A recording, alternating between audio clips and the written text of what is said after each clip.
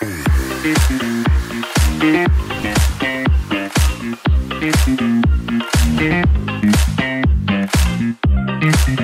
you.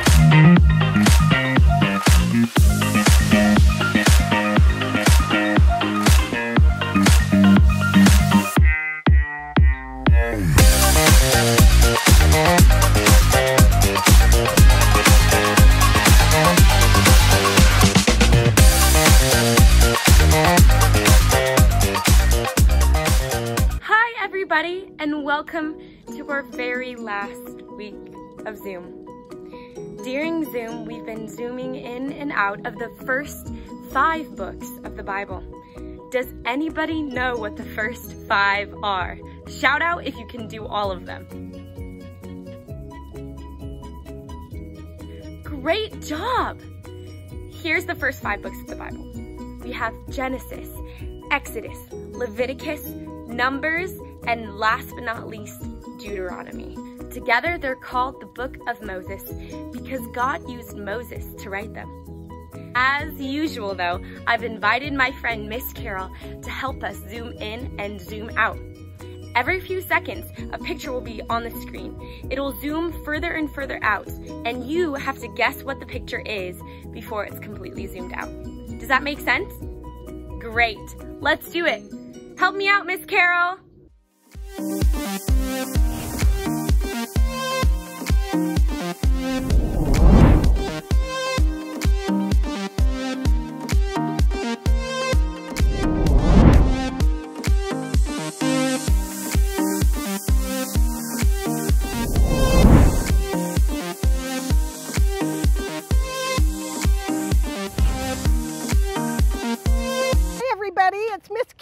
From first grade. Some of you remember me, some of you are new. I be, I'll be happy when I get to see all of you in person.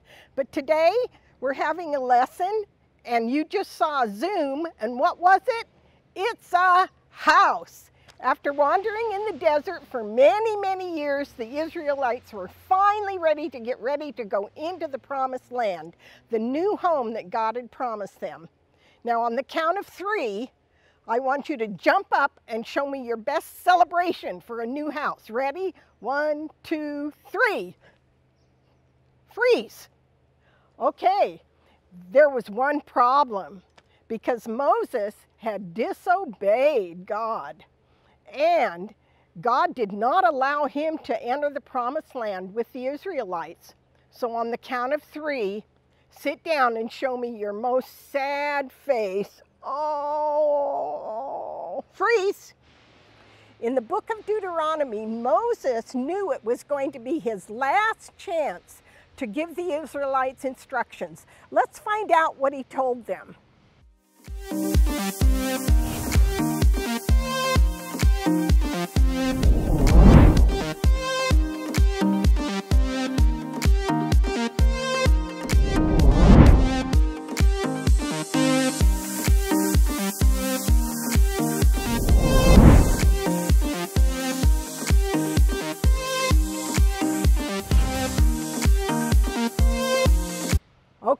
Watch the Zoom. It's a ruler. Moses told the Israelites to remember the special rules that God wanted them to live by. Most of these rules came from the Ten Commandments. Do you remember the Ten Commandments? I bet you do. Let's find out by playing a little game. Okay, when I say go, you start saying the Ten Commandments. Ready, set, go. Say as many as you can.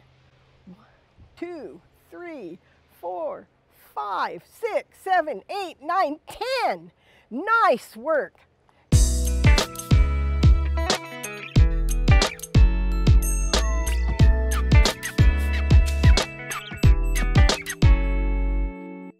God wanted the Israelites to remember the Ten Commandments because he knew that following these rules is the best way to live. God also wanted everyone to know that the Israelites were special because they followed him. By living differently from the other people, the Israelites would stand out big. The other nations around them would see that the Israelites were living the best way and that God blessed them. Moses had one more important thing to tell the Israelites before he died. Let's see what else Moses told the Israelites.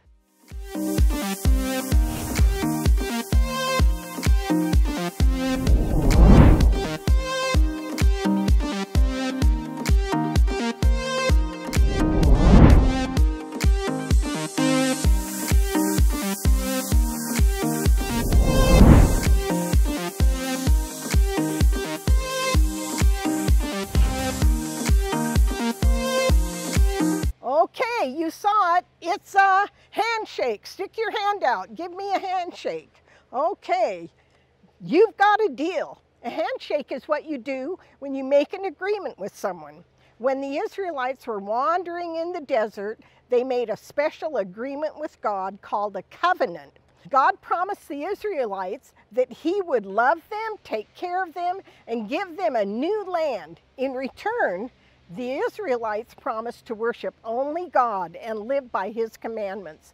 Moses wanted the Israelites to remember their covenant with God when they moved into the promised land. Let's do a final round of Zoom. Ready?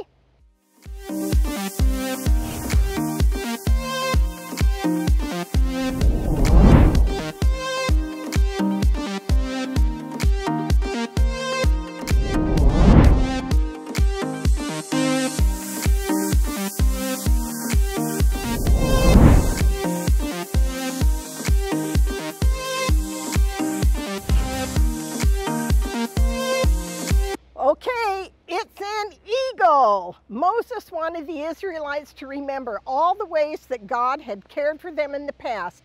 He said that God was like an eagle who guarded his baby eaglets. God hovered over them to protect them. He caught them and lifted them up when they fell. He helped them soar to the highest places in the land, and he fed them the finest foods. No other God was with them, only the one true God. God knew that if his people remembered that he had cared for them in the desert in the past, that they would trust him to take care of them in the future. Finally, after Moses finished talking to the Israelites, he went off by himself into the desert where he died. With Joshua as their new leader, the Israelites were now ready to enter the promised land. Thanks so much, Miss Carol. Wow, God sure wanted the Israelites to remember a lot of stuff. In fact, there were 23 different times in the book of Deuteronomy that God tells his people to remember something. When your parents have a lot of things they want you to remember, do you ever write it all down? That's basically what God did in the book of Deuteronomy. God knew that Moses wasn't going to be with the Israelites when they crossed into the promised land, so he had Moses write everything down. God wanted his people to remember the rules that he gave them, and he wanted them to remember the big agreement that he made with them. But more importantly, God wanted the Israelites to remember the amazing things that God had done for them. That's what our Bible verse for today shows us. Let's open to Deuteronomy 32 7. It says, Remember the days of long ago. Think about what the Lord did through those many years.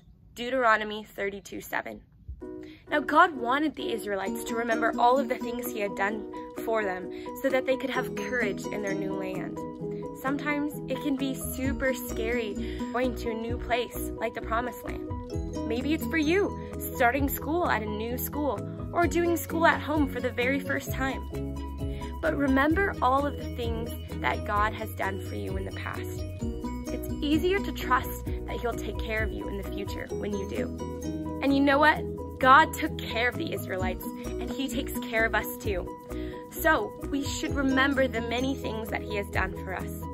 And we might not be moving into the promised land, but there are plenty of times when we're going to feel nervous about something, and we need to remember all of the ways that God has cared for us. Let's pray and ask God to help us remember the things that He's done. Dear God, I want to ask that you would help us remember all the things that you've done for us. Lord, you've provided so much, whether it's school or parents or food or fun or friends or family or church. Lord, I ask that you would remind us of all the gifts that you've given us so that when we're worried or we don't trust you, that we would be reminded of all the things you've done. We love you so much. It's in your name we pray. Amen. All right, guys, we have something a little bit different. Instead of answering questions, I want you guys to draw a picture of one special thing that God has done for you, and I want you to write it down. Tell him thanks while you're drawing, and send me a picture so I can see. I love you guys, I miss you guys, and I can't wait to see you soon. Bye, everybody.